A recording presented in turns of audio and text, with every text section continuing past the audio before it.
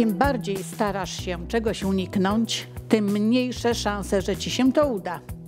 W trakcie medytacji, które poprowadzę 31 maja w Warszawie, nauczysz się jak działać, aby uzyskać od życia więcej niż teraz otrzymujesz.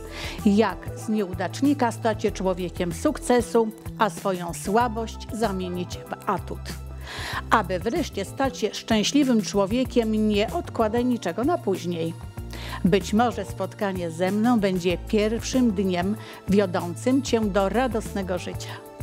Sukces, który może być Twoim udziałem, to osiągnięcie doskonałego zdrowia, dobrobytu oraz osobistego spełnienia. Pamiętaj, że dążenie do dobrego samopoczucia to Twój najważniejszy obowiązek wobec siebie samego. Wszystkie niezbędne informacje uzyskacie Państwo pod podanym poniżej numerem telefonu lub na naszej stronie internetowej www.ezotv.pl. Pozdrawiam, Wróżka Sybilla.